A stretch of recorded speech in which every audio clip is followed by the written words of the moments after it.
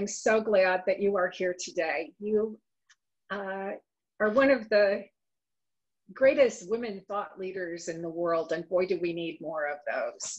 Um, I'm going to begin right now uh, by telling you something that you probably already know. We have 113,000 deaths in our country from COVID 19. 40 million of us have lost our jobs or closed our businesses. And the effects of racial injustice erupting all across our nation. It is very difficult to be an optimist at this time. Why is optimism so important during these times, Margaret? And how do we cultivate it in our lives? Hmm. Well, thank you very much for making me so welcome. Thank you for inviting me to, to share this event with you and, and um, thank you to everybody for joining. Um, optimism is important for a number of reasons, um, not least of which is that optimistic people tend to do better in life than pessimists. But that isn't because they go through life with sort of rose tinted glasses, just imagining everything's going to be fine uh, optimists tend to be people who take action. They believe that they understand when bad things happen that they are bad, but they don't think that they're forever and they don't think that they're hopeless. So they tend to be people who take action. They tend to be people who think quite carefully about what the action may, might be. And they're generally aware that even if things are bad in one place, they may be better somewhere else. And so there are always opportunities for learning. So I think, you know, the I completely agree. It is a very, very difficult moment to be optimistic. And as an American born and bred, I feel that very intensely right now. But I also know um, that we have been through terrible times in the past and come out of them with some degrees of progress. And I also have to say, at the risk of sounding rather sentimental, that America, in my experience and having worked in many places in the world, has an astounding concentration of unbelievably creative, constructive, positive, optimistic people. Hmm. And that optimism in itself, I think, is really a national asset. Now, that isn't to say that we just have to believe everything will be fine and it will be fine. It will only be fine if our belief prompts action. In terms of action, I'd like to talk about courage. You mm. say that 85% of us know there is a problem, whether it's in our workplace or community, and that 85% of us don't say anything or take any action. It's the 15% who have the courage to speak up or to do something. Are those 15% just extraordinary human beings? Well, it's a very great question, actually. So I first encountered this data when I was writing my book, Willful Blindness, which looks at individuals and organizations that often persist in not seeing a problem or an opportunity that really stares them in the face. And so there are, you know, many recent examples of this. Uh, the Wells Fargo uh, mis-selling crisis was one of those. The Volkswagen emissions scandal was one of those. The whole of the banking crisis was one of those. The Catholic, uh, scan, uh, scandals in the Catholic Church, and so on and so forth. And these, all of these events and scandals have exactly the same pattern, which is um, something terrible goes wrong. And the first thing is nobody could have seen this coming. And then it turns out one or two people saw it coming. And then it turns out that actually scads of people saw the problem. And by and large, nobody did anything about it. But you, there's also a phenomenon where when you keep looking a bit deeper, you see there are some people who tried. And so I became very interested in those people because I thought, well, if we could understand who they are and what they are, we might try to find more of them.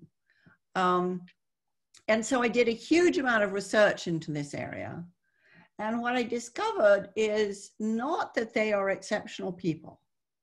So I guess I thought if I could come up with a profile, maybe they're all really tall or they're all redheads, you know, or um, you know there are lots of myths around these people one is that they're primarily women which they aren't another is that they're primarily people of faith which they aren't and the really interesting and i think optimistic finding is that these people are pretty ordinary hmm. So what that suggests is that, is that there could be more of them so one of the people that I interviewed was Sherron Watkins, who was, you know, the, the person within Enron who wrote to the chairman to say, we have a gigantic financial accounting problem here. And she did that like a typical optimist because she thought if we know about it, we can fix it. Mm-hmm. And, um, and sadly, what she discovered, she discovered too late. And also, it was actually, it's kind of strange. It was actually such a gigantically convoluted financial system that they'd engineered at Enron that even on the day they went bankrupt, it turns out they actually weren't bankrupt. It's just nobody could understand the accounting well enough to see what they actually possessed. Um, but when I asked her, why of all the people in Enron, many of whom could see that things were being done in a very weird way, why you? And she said, you know, she had been one of three people on the cover of Time magazine that year, along with um, a whistleblower at the FBI and a whistleblower at WorldCom.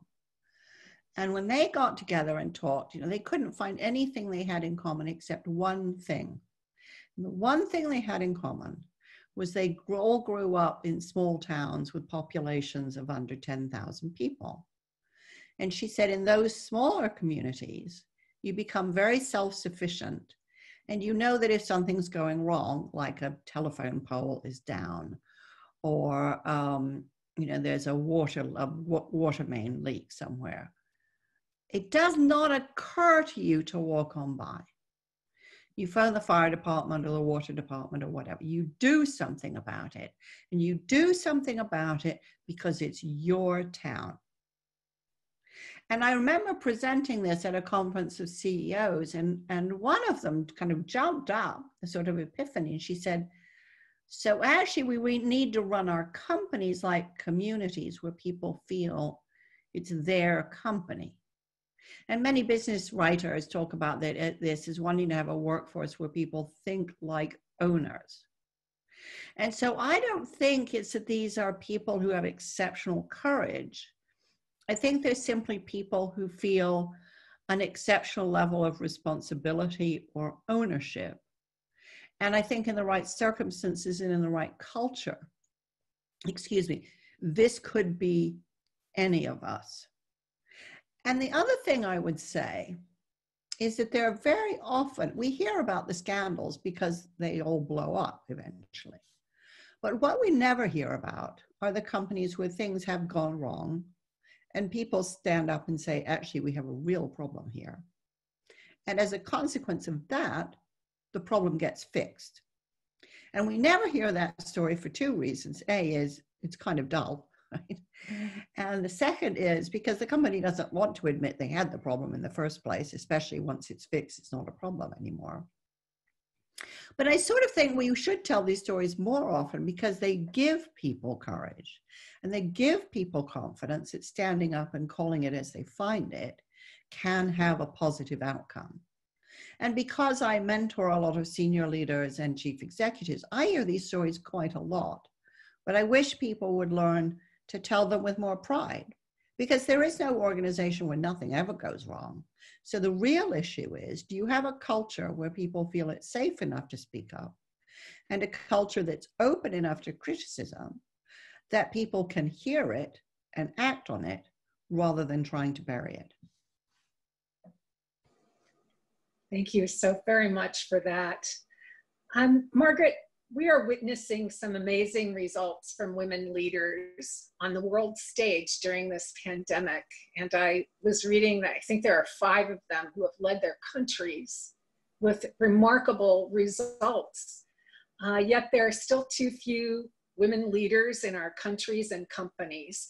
What impedes our progress and how do we fix it? Hmm. It's a great and very, very difficult problem. Um, what impedes our progress, I think, is a number of things.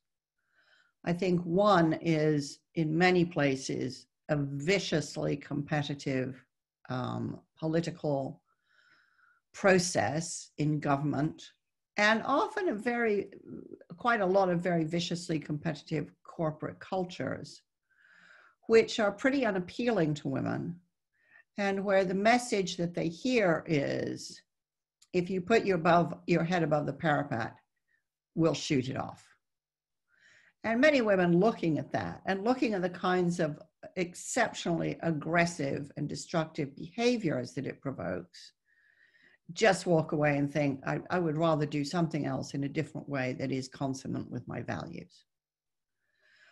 But I think the other reason is that we haven't made enough progress forging alliances between women who want to progress and men who want them to progress. And I'm quite often asked to speak at conference, you know, women's conferences and and I like doing it because I just love the company of smart women. You know, I mean, who wouldn't? but I often think we're preaching to the converted when we actually need to be having a much more straightforward conversation with men about the privilege that they enjoy, which to many of them remains invisible, the consequences of that for their society, their families, and their daughters and the degree to which we need to make common cause. Because I'm, I'm pretty confident that we are not going to make the headway we need to make until we support men and they support us. I could not have done what I do in my life had I not had the support, active encouragement, and active parenting of my husband we have a partnership where we don't think that the success of one mitigates against the success of the other. And so I think somehow we have to have a better dialogue on that topic. I also think that we have been a little disingenuous. And this is a little controversial, but I'll say it anyway, which is we've like we like to say, and I have said this in the past, that a rising tide lifts all boats and that if women do better, everybody does better.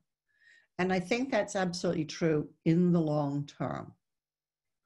In the short term, the fact is that if women are going to get board seats and C suite positions, from a male perspective, that means there are fewer of those opportunities for men.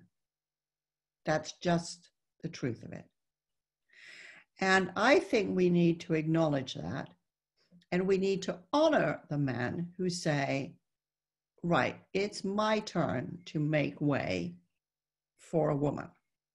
Because if we can honor that sacrifice, it's more honest, it's appropriate, and that's how we'll get to a world which is ultimately better for everyone.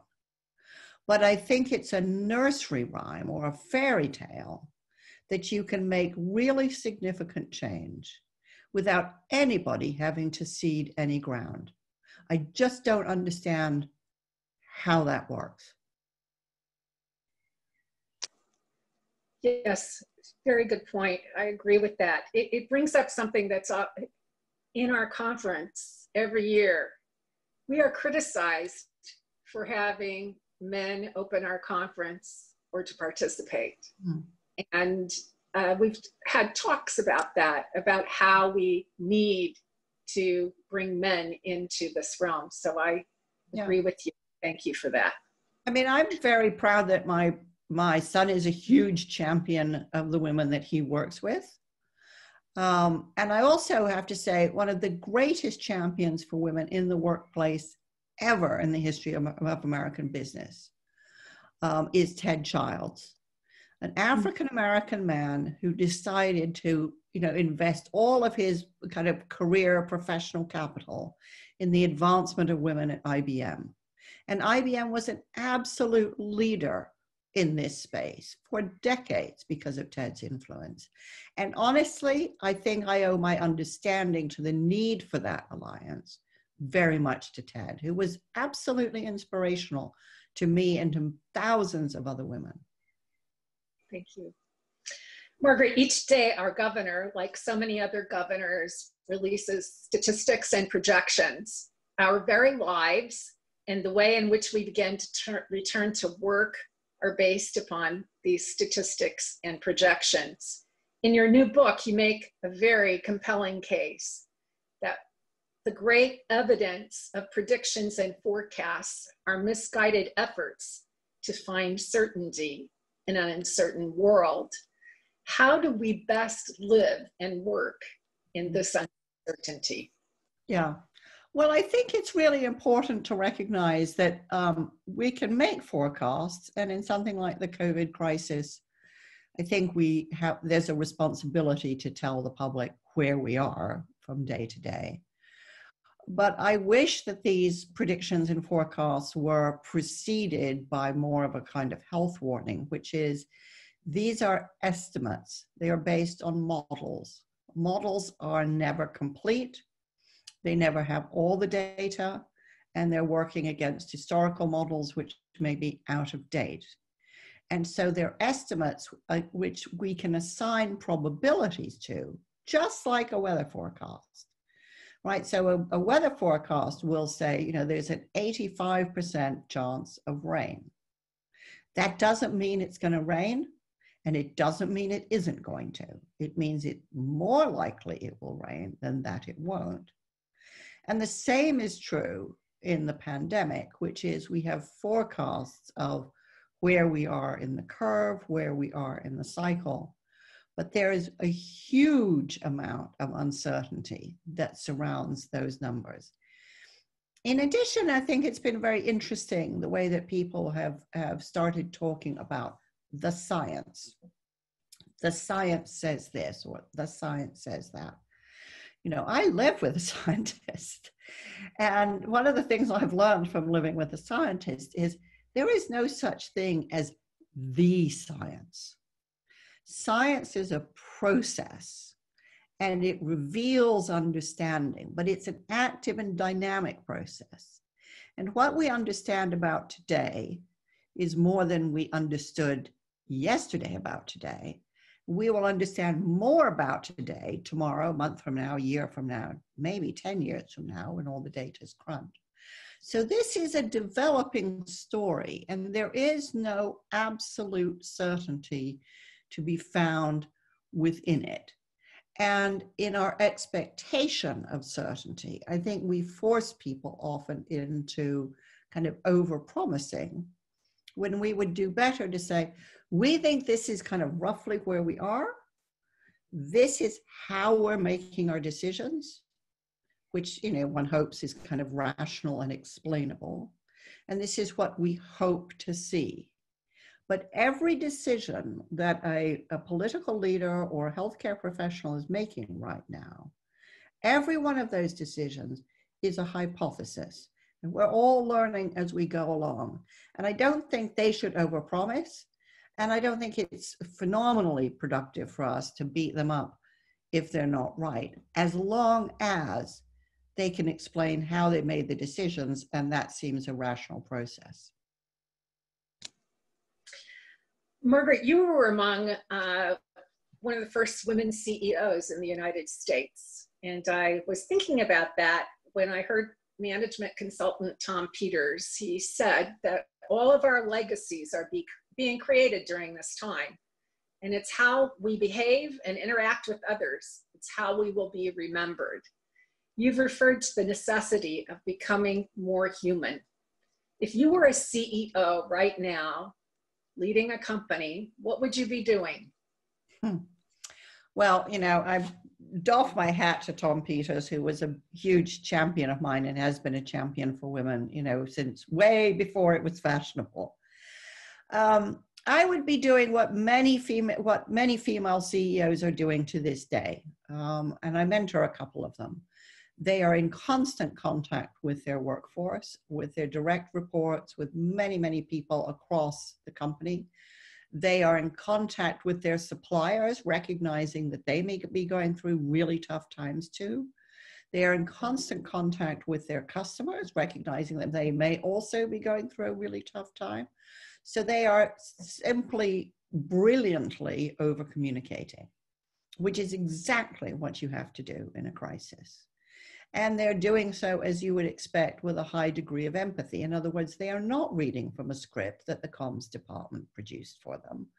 They're doing it with a real heartfelt understanding of the difficulty that many, many people are going through.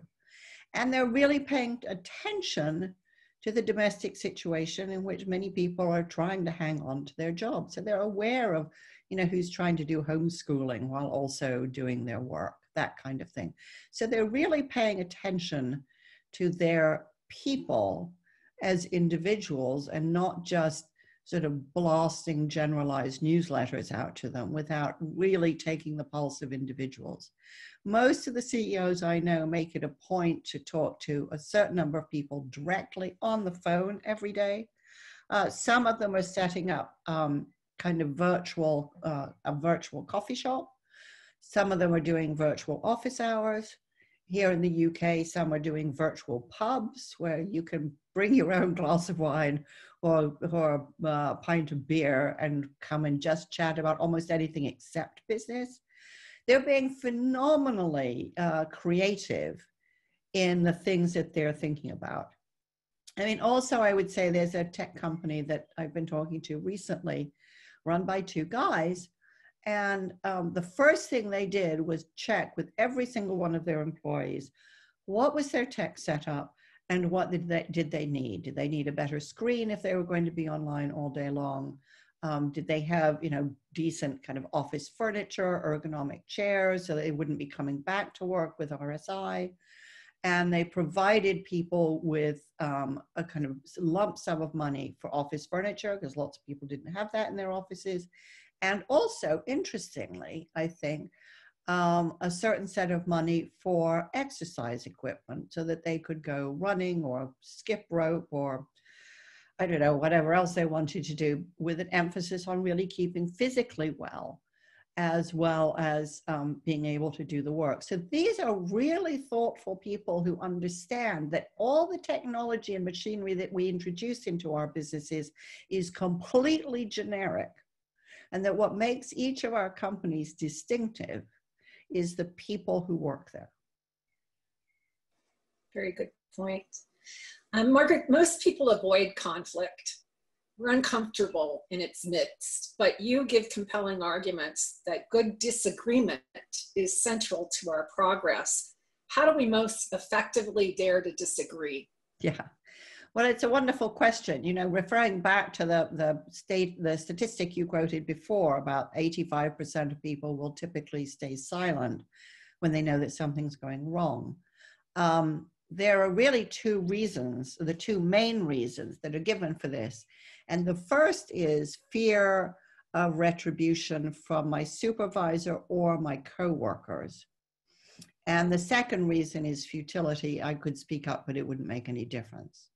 So the first of those really grabbed my attention because I thought if there's a fear, then there's also underneath that, I think, a lack of confidence in one's ability to have a civil conversation about the problem. And when I talk to people who are caught in this trap, um, generally they felt they had only two options. The first option was stand on the tabletop and scream about it, and the other one was shut up. And what they didn't seem to appreciate is that between those two options, there's a whole spectrum of possibilities.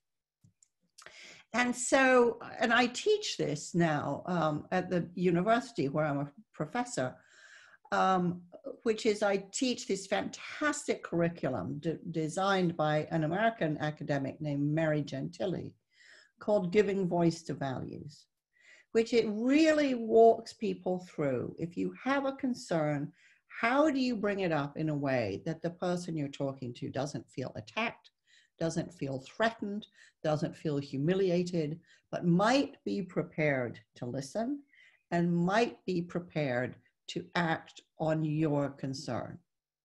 And this, I think, is rapidly becoming an absolutely fundamental business skill. How not just to be a pleaser at work and do all the stuff you're supposed to do, but how to raise the really awkward topics. And there are two reasons for this. One, obviously, is because otherwise these terrible things, what the problems like Volkswagen's emissions would just grow and grow and grow. But the other thing is that I learned is that often women in particular are fantastically good at spotting new business opportunities. And they can see that there are some things that it's just right to do right now. They have a tremendous sense of zeitgeist. And so if they don't speak up about that, then they become very frustrated again, of course. But of course, the company loses gigantic amounts of value. And one of the, you know, absolutely best entrepreneurs I ever met like this was a brilliant woman in Ohio named Carol Latham. And Carol realized in the 80s that the whole world of personal computing was exploding. And she asked herself a brilliant question, which is if this is a huge trend, what might slow it down? And she realized it was heat that computers get hot as processing power increases. So she had this great idea. She is a chemist by training. If I could invent a material to take the heat away, then, um, then that would allow this tremendous new technology to advance. And she went to her bosses and said, I've had this great idea. And of course, they just looked at her and they thought she's crazy. They said, We're not in the computing business. And what do you know about computing anyway? And they sent her on a couple of courses, you know, to kind of make her feel good. And of course, she did what lots of women do. You know, she stormed off in a huff and thought, You guys are useless. I'll set up my own business. And she did set up her own business. And, you know, the truth of the matter is, there's a little bit of Carol Latham inside everybody's laptop today. A gigantic, really important business which her own bosses wouldn't listen to. But I think, you know, the moral of the story is that in companies, it's crucial to speak up because either the, the lurking danger or the failure to seize really hot opportunities, these are fundamental to the sustainability of the business. And so you need both bosses who are prepared to listen and a workforce that's prepared to speak up. Thank you. Uh, we're, we're getting questions and I encourage you to continue to send them in and we'll take a break in a moment and turn to that. You made this reference to Tom Lütke in your book that I found this mm. fascinating uh, when you were discussing predictions and forecasts. Mm. And he now is the most accurate forecaster in the world. Yet when I researched him, he's quite humble and he mostly talks about his misses and errors, uh, which I, I found just so ironic. Is that the key to his success? And what can we learn from all of this? His humility is definitely part of the key to his success. Um, he worked with an academic named Philip Tetlock, and Philip Tetlock ran something called the Good Judgment Project. And it pitted teams of forecasters against each other, uh, one from MIT and one, I think, from the University of Michigan. And, um, and, you know, to cut a long story short, Tetlock's team just kept winning. So, what was he doing that was so extraordinary? The people that he recruited were not, you know, kind of IQs of a million they were people who were quite humble, who kept thinking, you know, I could be missing something. I should do a bit more reading or dig a bit more deeply, or maybe read more broadly. And they were also people who kept challenging their own forecasts about, you know, what might I have overlooked. And also, with every single forecast, they would compare what they had predicted to what happened and kind of keep track of their own accuracy rates, which is absolutely fundamental if you want to become good at this. But what Tetlock and the Good Judgment Project found is that nobody is ever always right. And in particular, when you're thinking of the uses of forecasting in business, what many people who do forecasting, for example, about the tech industry said, if if you're always very accurate, then you're actually not trying hard enough because actually the forecast that says the thing that's blindingly obvious, it's really easy to get those ones right. But the interesting forecasts are the ones that are a little more obscure, a little harder to see. And if you're willing to take better bets, you learn more about your own forecasting ability. And, and forecasts really should never be used as the uh, sole basis of decision making. They should be used as a basis for discussion and debate around what the options are. So if we believe this forecast is true, what should we be doing right now? So I think, um, you know, the, the other thing, of course, that Tetlock found, which is fantastic and, and made a lot of headlines, is actually the more famous the forecasters, the more likely they are to be wrong. And what Tetlock argued was that they kind of fall in love with their grand theories of everything and then get stuck because that's what they stand for and their thinking doesn't change. And I think the really great forecasters do not have these grand theories of everything. They remain open minded all the time. And I think humility is really at the basis of that. At every moment, they keep thinking, I could be wrong and I may have missed something, so I need to keep looking. Interesting. Um, Margaret, you said in your books and in some of the TED Talks that I watched that in uncertain, in uncertain times, asking what if can help us become resilient. Can you give us some examples of what if thinking? Sure. Um, probably the most famous example of what if thinking came out of the Shell Scenario Planning Unit in the 1970s. Shell was very ahead of its time in terms of developing a process for scenario planning. And what this did was it brought together hard data and soft data. So it pulled planning away from purely financial function uh, to draw scenarios of possible futures. So it all had to be based on real evidence that was reliable and plausible. And one of the scenarios that they constructed was what would happen if the oil price fell. And at the time, everybody laughed at them, saying, well, this is just stupid. It's a natural resource and it's in limited supply. So the laws of supply and demand argue that it will only ever go up in price. And the Shell people said, well, maybe you're right, but you know, the whole point of scenario planning is to ask what if. So we're going to ask what if. And they said, well, actually, if the if the oil price fell, then we would be in a bad position if we were holding really great reserves for which we'd overpaid. We would be in a bad position if we had gigantic fixed costs. We would be in a bad position if um, we didn't have other sources of revenue and so on and so forth. And when they looked at those, they said, well, you know, that implies all kinds of things that we could be doing anyway to make our business more resilient. So whether or not the oil price falls, let's just do that stuff anyway because it makes good business sense. Of course, when two years later the oil price fell, Shell was in, a, in the catbird seat because none of its competitors had even dared to think this way. Um, there's another long example in my book about the government of Slovenia, who basically said, you know, we they had a very interesting problem, which was that economically the country was doing very much better year after year, but people were not getting any happier. And the sign of their unhappiness was disenfranchisement. They had the lowest rate of electoral participation in Europe. And so they said, well, what if we asked a very broad cross section of citizens what we should do about this? So instead of us doing the typical party political thing of coming up with things we think people want, why don't we ask them to tell us what they want?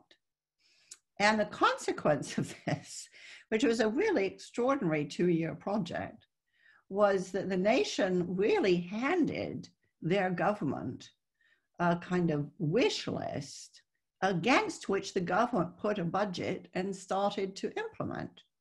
So it kind of turned a lot of the the kind of moribund, rather stale and party political democratic processes into something very, very much more dynamic and open and transparent and legitimate. So it was a very outstanding example, uh, experiment in democracy, which would not have happened had they not asked, well, what if we did things differently this, this time because it hasn't been working too well recently?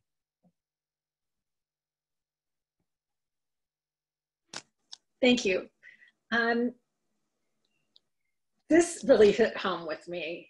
You state in your book that the more we let technology think for us and act for us, the less that we will be able to make a future for ourselves. Mm-hmm.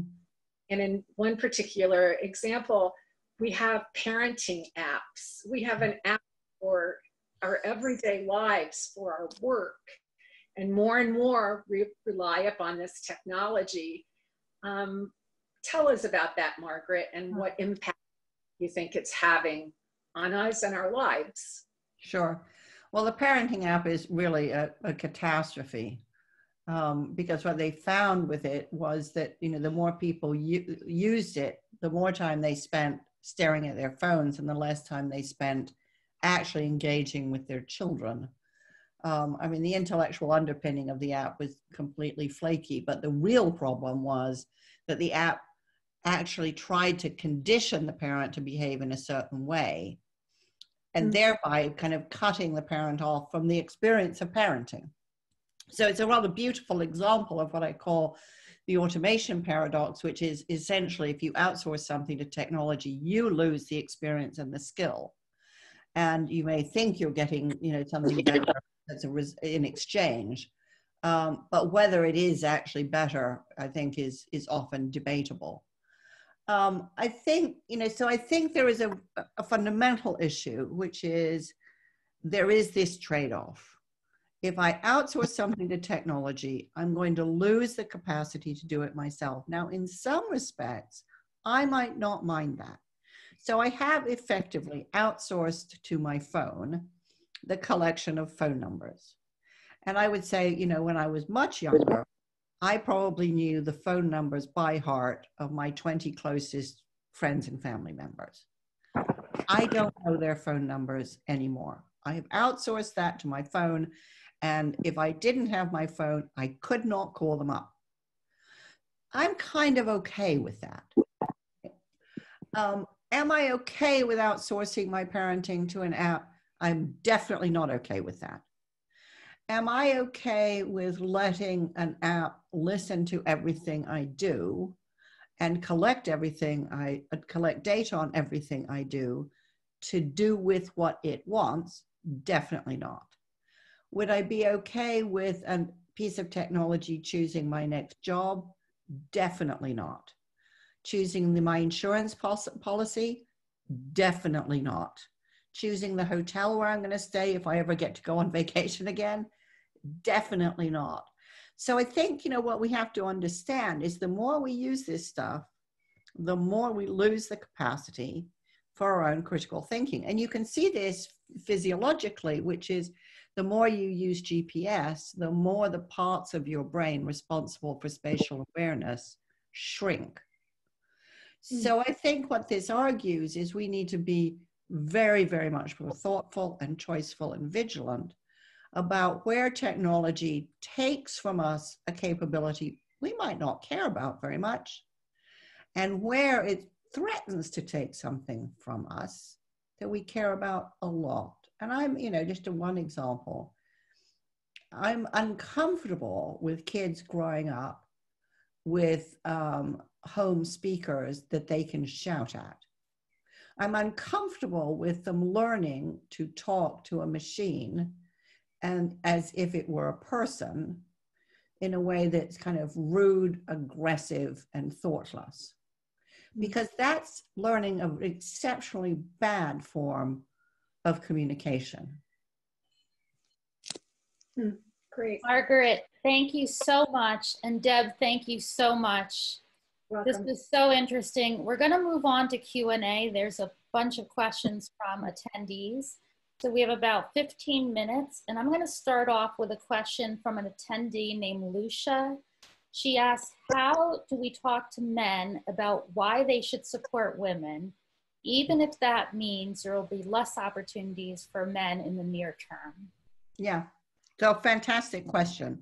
So, I think there are a couple of things. The first thing I would say is I once um, did did some work with um, the heads of an organization that brought together all the heads of the big supermarkets, and um, perhaps not surprisingly, they had very, very, very, very, very few women in their leadership levels. Um, although the vast proportion of its their workforce were female. And I drew a kind of diagram of where women were within their organizations. And the truth is, they were all at the bottom of the pyramid. And I, you know, I showed that as a slide and simply asked the question so, this is the industry you work in. Um, would you be really happy encouraging your daughter to go into an industry that looked like this? Hmm. Interesting. There was a kind of stunned silence. Right? So, one of the things we find is that senior leaders get really excited about diversity pretty much at the moment that their daughters start to graduate from college and they start understanding the problem from a personal level. Um, so, that's one of the things I would say. I would say something else, which is a little more challenging, but you know, generally speaking, you know, senior leaders in, engage me to challenge them and they get what they pay for, um, which is you say that your company serves society. You all have these statements, mission statements about how you want to make the world a better place and provide the world with great products and services. So, half of that, more than half of that society that you are serving, is female. So tell me how you're helping that majority of the population if they aren't represented seriously at all levels of your organization. At what point can you claim that you're actually doing what you say you're doing? And then there's another long silence. And, you know, my argument is look, if you don't want to advance and hire women, that's your affair. I mean, some of it's going to be illegal. That's going to be your problem. But if you're not going to do it, stop saying this stuff because it makes you look like an idiot. Because you say one thing, you do something else. And, you know, the thing, the problem here is everybody can see it, everybody always knows. So, if only from a perspective of brand consistency, you kind of need to get your ducks in a line. Margaret, there's another question here from Adrian. She asked, does Margaret think will be harder or easier to create work cultures with better communication post-pandemic? What specific steps can small business owners take? And what about larger business owners? Yeah, this is a huge unknown.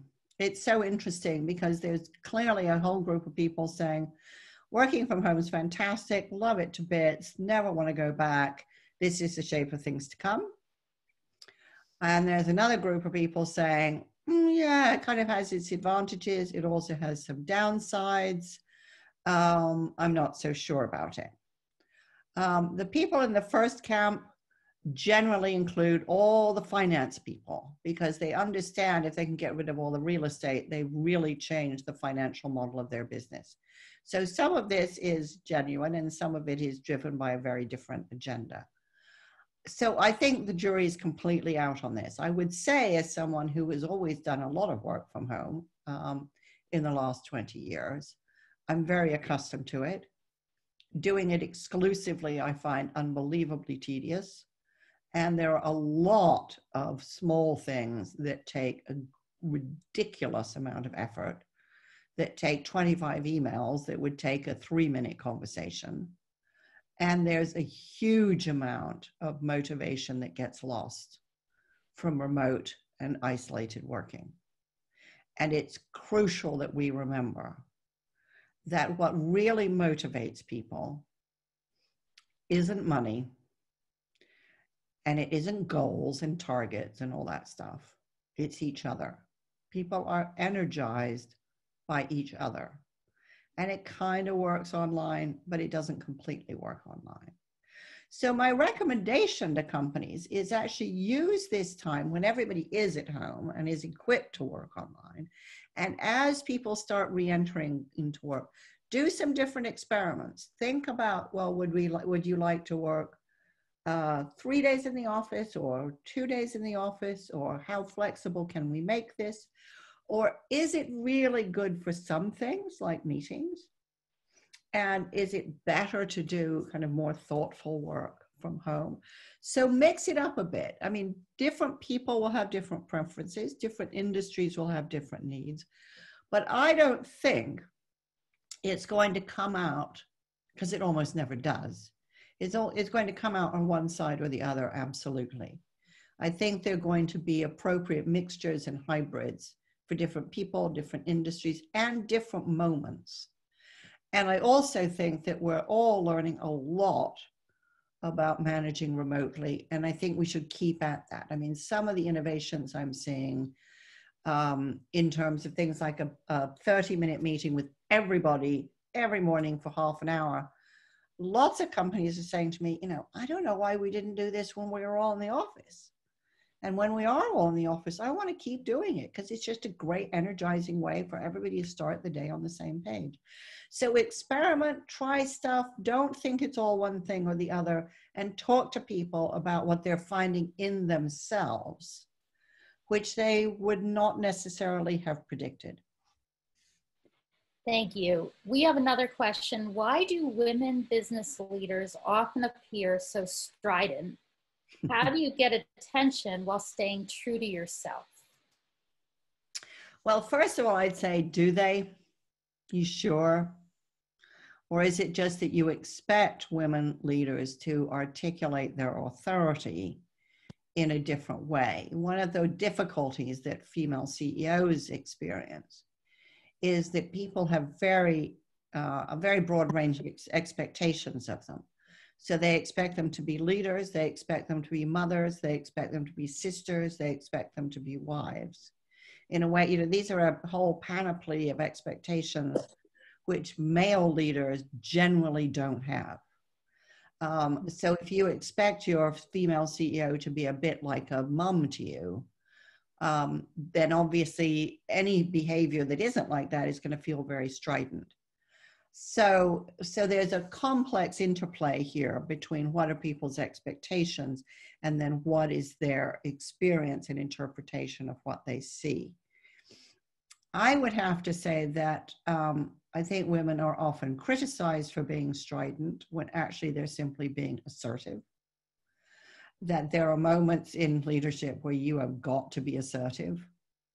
And if that's misinterpreted, that's unfortunate, but there are moments where uh, uh, being assertive is essential. I would also say that um, we and we've seen, and we talked about this earlier, we've seen some outstanding examples of leadership in political leaders around the world recently. And I think what's really interesting is I would say that this second generation of female leadership, these women are actually uh, much more comfortable being more empathetic. So if you think, for example, of early examples, so Margaret Thatcher, Golda Meir, um, these are pretty tough, macho women. And to call them strident would be an understatement. And I think they were like that because they'd had to fight so darn hard to get to the top. And I think we still see that a bit. You know, when you've actually fought every inch of the way, there's a lot of uh, warmth and human kindness that may have got dissipated along the way. But what I'm seeing with this second generation of female leaders is they're less prepared to sacrifice their natural way of being to conform to a, a male norm. And they appreciate that a more empathetic form of leadership is actually more powerful. And so they're achieving what they're achieving in terms of high levels of trust by being themselves and not trying to fit into what I think is already, frankly, an, a fading stereotype for men and women alike.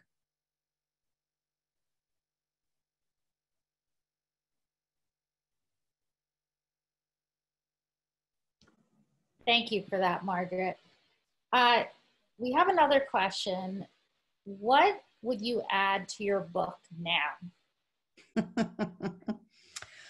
um, well, it's interesting actually, because, you know, as you mentioned, it came out in the UK in February and the paperback comes out in, um, I think, at the end of the year. And my editor has already asked me to write a postscript. Um, so these things never stop, right? And I just finished, you know, doing a new edition of Willful Blindness. So it's like, oh my God, no sooner have I finished a book than I end up um, updating it because they always seem to be incredibly timely. Um, I think what I would probably add is something that I said earlier. Um, well, I would add two things. One is I would add what I said earlier about this idea that there is such a thing as the science, you know, that it's just a kind of absolute incontrovertible truth. That we need to understand that, that science is a process of discovery because I think it's a it's a real misunderstanding. But also, you know, there's a lot in my book about how uncertainty is what gives us freedom in life. If everything was certain and determined, we'd have no freedom and life would be dreary because it would just be a gigantic to-do list at the end of which is death. Right? And I think I might add that actually there's a really positive face to uncertainty if you ask people, for example, do they know what they're getting for their birthday? 90% of people will say they don't want to know. They like the surprise. If you ask people, would they like to know in advance whether their marriage will end in success or failure? 90% of people will say, no, they don't want to know. They want the adventure, they want the experience. And I think this is just a great kind of demonstration of the degree to which uncertainty, as anxious as it can make us feel, is also what gives us freedom. It gives us choices and it gives us a sense of our power to influence our own experience of life. And I don't think anybody wants to give that up because that is freedom. Margaret, thank you so much. Before we end, I want to just invite you to share any final thoughts that you have. Hmm.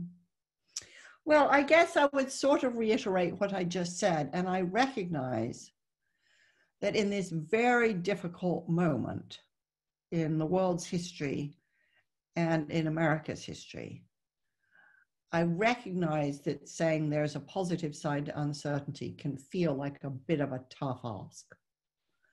But I think the truth is that even at these difficult moments, we have choices which will define the future for us. Mm-hmm. We are never without choices. We are never without options.